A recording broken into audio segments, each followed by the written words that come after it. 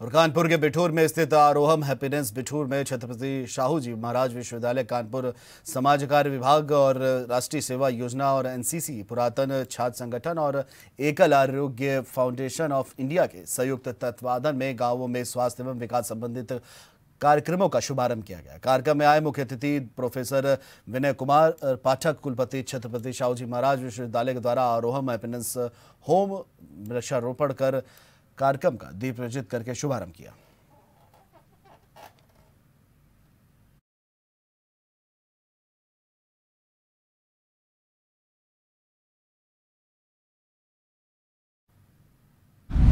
अगर आपको हमारा वीडियो पसंद आया हो तो हमें लाइक करें सब्सक्राइब करें और ज़्यादा से ज़्यादा शेयर करें। और हाँ बेल आइकॉन दबाना ना भूलें, ताकि हर खबर का अपडेट आप तक पहुँचे तुरंत। आप हमें इंस्टा ट्विटर और फेसबुक पर भी फॉलो कर सकते हैं। हमारी आईडी है at the rate news flash